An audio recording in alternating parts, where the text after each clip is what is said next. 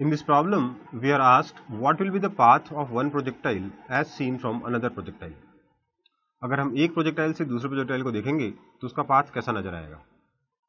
तो let's consider two projectiles ये projectile है आपका ए जो कि इस पाथ पे जा रहा है और एक दूसरा प्रोजेक्टाइल है आपका ऐसा जो कि इस पाथ पे जा रहा है। बीच रास्ते में किसी पॉइंट पे इस ए का एक्सलेशन होगा नीचे की तरफ़ जी और इसका भी एक्सलेशन होगा नीचे की तरफ़। जी।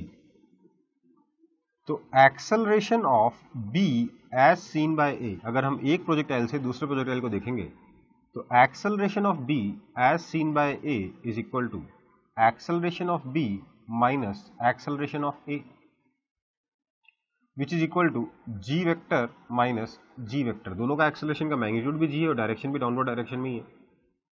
So which is equal to zero मतलब acceleration of B as seen from A is zero which implies velocity of b as seen from a is equal to constant. अगर एक्सेलरेशन नहीं है तो वेलोसिटी चेंज नहीं हो रही velocity constant है। और अगर रिलेटिव वेलोसिटी कांस्टेंट है, अगर वेलोसिटी कांस्टेंट है किसी पार्टिकल की तो उसका पाथ कैसा होगा? Straight line this implies path is straight line